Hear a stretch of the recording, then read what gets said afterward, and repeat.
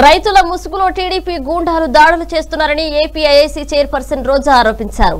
తనపై దాడికి చంద్రబాబు కుట్ర పన్నారని సంచలన వ్యాఖ్యలు చేశారామె సిఆర్డీఏను చంద్రబాబు రిలేషన్స్ దోపిడీ ఏజెన్సీగా మార్చారన్నారు. సిఆర్డీఏ పేరుతో పచ్చటి పొలాలను నాశనం చేశారని విమర్శించారు. నాలుగు వేల ఎకరాలకు పైగా దోచుకున్నారన్నారు. ప్రజా రాజధాని పేరుతో ఓ సామాజిక వర్గానికి చెందిన రాజధాని కట్టారన్నారు. చంద్రబాబును నమ్మి కుప్పం ప్రజలు నష్టపోయారన్నారు మొన్న చూస్తే ఎమ్మెల్యే పిన్నెల గారి మీద దాడి చేస్తారు.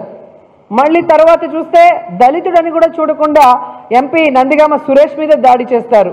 నిన్న చూస్తే ఎంఆర్ఓ మీద దాడి చేస్తారు. ఈరోజు నా మీద దాడి చేస్తారు. సందేశం ఇవ్వాలనుకుంటున్నారు.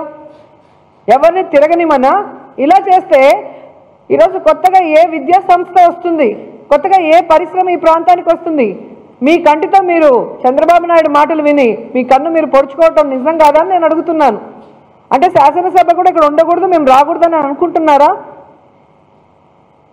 ఈరోజు తప్పు చేసిన పత్తిపాటి పుల్లారావునో నారాయణ గారినో చంద్రబాబునో నిలదీయాల్సిన మీరు నిలదీయకుండా ఈరోజు మమ్మల్ని మీరు టార్గెట్ చేస్తున్నారంటే స్పష్టంగా అర్థమవుతుంది.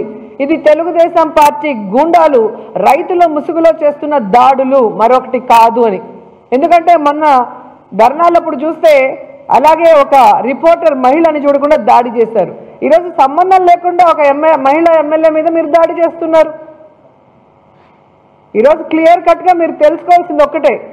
జగన్మోహన్ రెడ్డి గారు ఈరోజు రైతు కూలీలకి ప్రతి నెల రెండు వేల ఐదు వందల రూపాయలు ఇస్తుంటే దాన్ని ఐదు వేలకు పెంచాడు. పది సంవత్సరాలు ఇస్తే చాలనుకున్న దాన్ని పదహైదు సంవత్సరాలకు పెంచాడు. అలాగే రైతు కూలీలకి కూడా మీరు చూస్తే